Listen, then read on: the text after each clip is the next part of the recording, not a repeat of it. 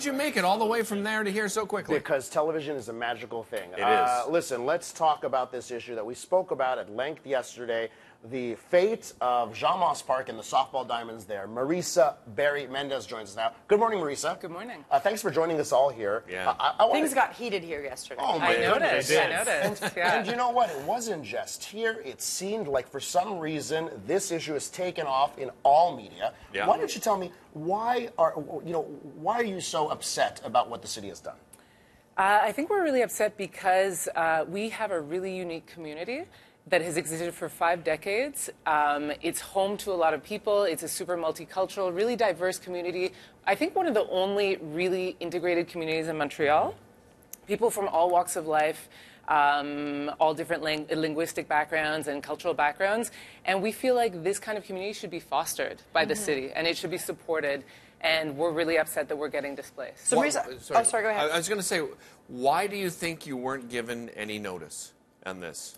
I mean, it's anybody's guess. Um, I, I personally feel like uh, folks are aware that we're able to mobilize. Last year, we really mobilized an Yeah. active campaign in order to oppose um, the elimination of our field. And so I, I feel like that came into play in the fact that we were told, and five days later, the field was gone. So, you know, we reached out here on the show to uh, Projet Montréal yesterday. We got a, a response from Alex Norris, and, you know, it was a very lengthy response. And, and it, there was the details. They mentioned, you know, there could be accidents, the ball, someone, someone did get hit, they say.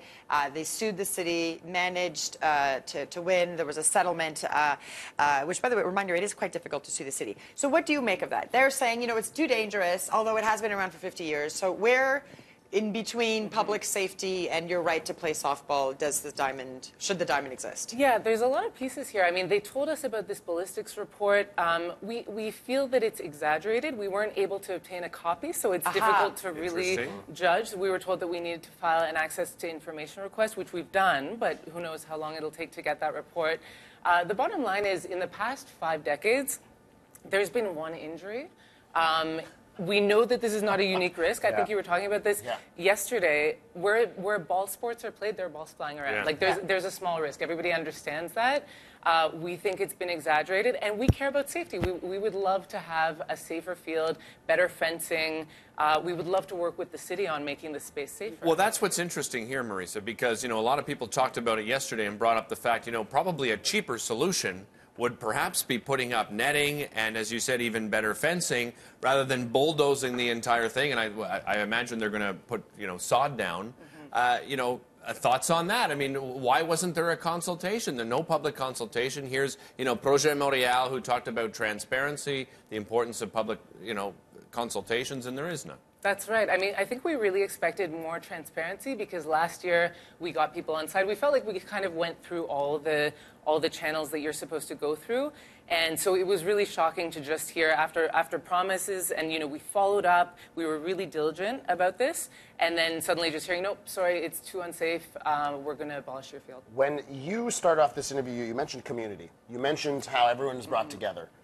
Yesterday, on 98.5 on Paul Arcand's show in the morning, um, Luc Ferrandez, there you see him there a year ago throwing out a pitch, right, in one of your games. Luc Ferrandez said that basically this is a group of Anglophones of a certain age. This, is what- I'm, I'm quoting this. A group of Anglophones of a certain age. They like to make their hot dogs. Uh, How does comments like that make you feel? I mean, it's just completely inaccurate. It's, it, it's, it feels really condescending. Uh, this is an ultra diverse community. Like, how do all the francophones and Latinos and newcomers who are part of this community feel when they hear him and talking also about? even let's just say e- like, pretend it was just anglophones like that's okay like Right. people can Yeah. try i mean And what's wrong with making hot dogs? I Hey, mean, Luc. this is a great Hey, community Luc. event. hey mr Ferrandez, You okay go know. on sorry yeah, yeah, Uh, Marisa, did, can I ask you, did you vote for Projet Montréal in November? I did. And uh, in light of what's happened and the sort of reneging on the promise, uh, promise, are you rethinking that? I mean, of course, of course, Mm-hmm. right? And what, what are the thoughts of the people around in your community when they, and, and uh, Monday night when you go to that meeting? Yeah, I mean, I think people are really surprised that you know you showed the picture. Um, the the borough mayor he uh, positioned himself as an ally last year when when we were mobilizing, and so I think that people definitely feel really betrayed. I, I want to get. I, I know we're running out of time, but just gentrification has been brought up uh, in in this conversation. Where does that come into play? I mean, I think people people in the community have been asking a lot of questions about this. You know, we're we feel like the most important thing is preserving and fostering this amazing, unique, integrated community. And so the fact that we're being wiped out and that we're, we're not being collaborated with in order to to prioritize us having that space makes us feel like maybe we don't this super diverse community doesn't fit into the vision of the administration. Listen, So- Marisa, thank you so much for joining us. Yeah. We're going to continue to try to get Mr. Ferrandez on the show, and we'll, we'll, we'll let you know Thank how that goes.